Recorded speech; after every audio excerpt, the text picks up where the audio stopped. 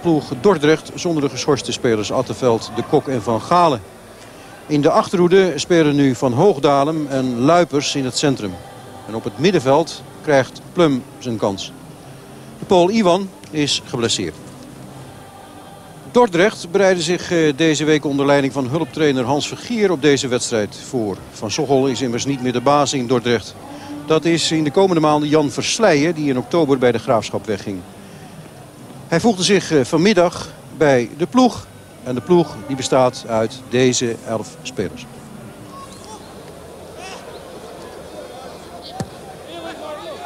Van Hoogdalem. Goed weggedraaid bij eh, Lems.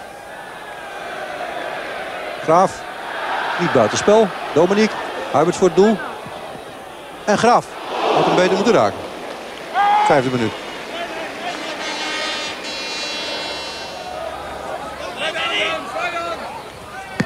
Tichelen, Van der Leur. Graaf is daar.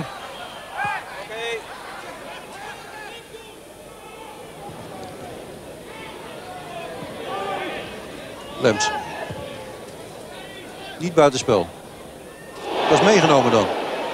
Die fout. Maar dat is geen echt schot natuurlijk. Dat is een uh, zwakke poging om te schieten van Korswal.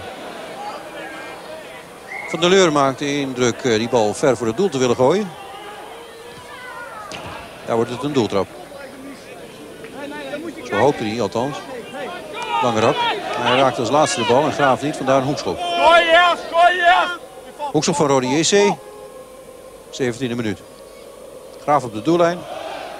Luipers daar vooraan. En Van Hoogdalem schiet hem terug naar de hoekvlag. Van der Leur. Gal. Tweemaal vrij. En niet buitenspel. Doeltrap. Hers kopte.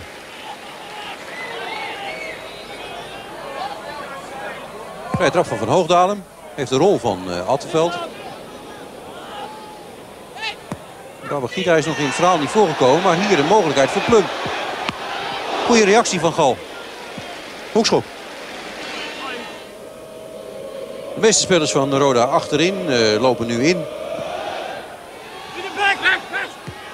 En daar zit Gal mis. Maar op de doellijn wordt de bal daar weggekopt door Adbodicoro. Keeper is eigenlijk al geklopt. Na deze inzet van Luipers. Luipers kopte. En voor de doellijn wordt die bal weggehaald. Vlak voor rust deze hoekschop. Roda is veel sterker geweest. En Van Tichelen speelde behoorlijk tot goed daar achterin. En leidt de ploeg die nog steeds geen treffer tegen heeft. Gal had hem kunnen pakken. Van der Leur. En Gal pakt hem nu wel. Dus er is verder niets aan de hand. Van Hoogdalen weer. Babangida. Van der Leur. En Van Hoogdalen. Voorlangs. Zijn ijver is groot. Zijn succes tot dusver gering. Van der Leur krijgt overal Langerak mee. En hij lijkt daar niet erg gelukkig onder.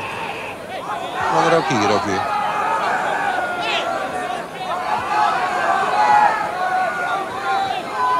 Lems. Langerak. Wouden. Waren een schot.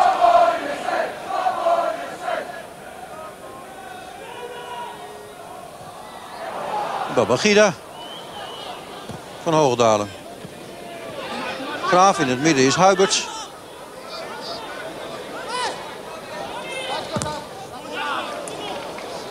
Weer een corner. Hoekschop van der Leur. En raak. Ingekopt daar door Hesp. Het heeft even geduurd. Maar nu is het dan toch prijs.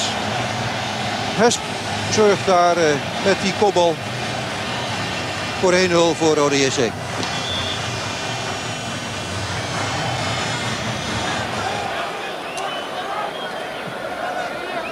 Lems. Dominic Huiberts. Boswal.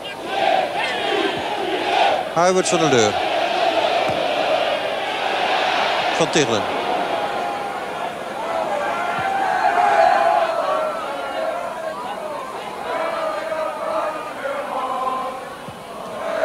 Kansje ineens voor Hoop.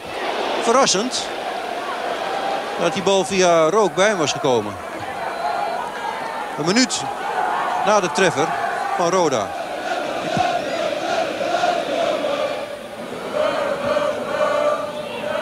Dominik en en Van der Leur.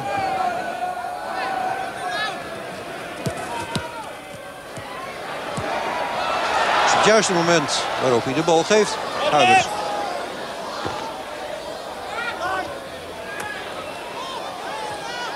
Dominik. Van Hoogdalen.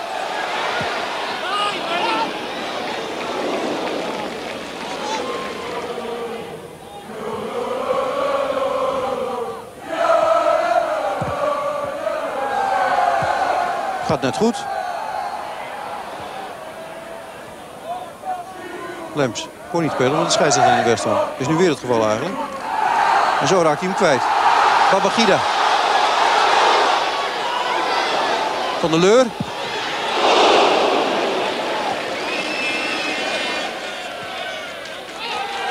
Zenden.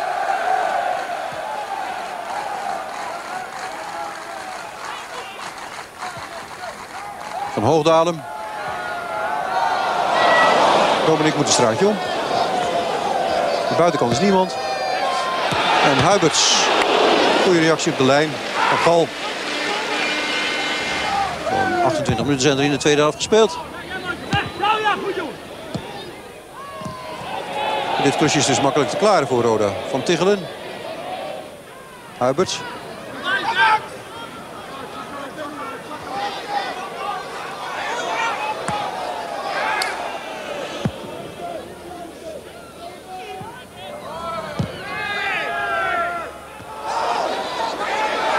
Alles staat stil bij Dordrecht. Dat is niet helemaal slim. Want Babagida stond niet stil. En die scoort nu zo.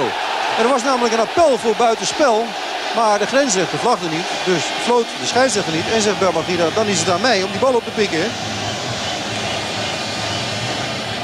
Van Tichelen maakt als uh, opgewekste van het Dordrechtstel de passen naar voren. Hij zegt, ik ben aanvoerder. Op jij, uh, Luipers. Kijk, dit gebeurt. Het is buitenspel, maar niet zozeer van Babagida als wel van Graaf. Alleen er wordt niet voor gevlacht, nog voor gefloten. En daar hebben tegenwoordig grensrechters gelijk in. Want ja, die Graaf staat er niet hinderlijk. Het is maar net hoe je dat uitlegt. Maar lijkt Van Tichelen nog te willen bijten. Maar Lem zegt moet je niet doen.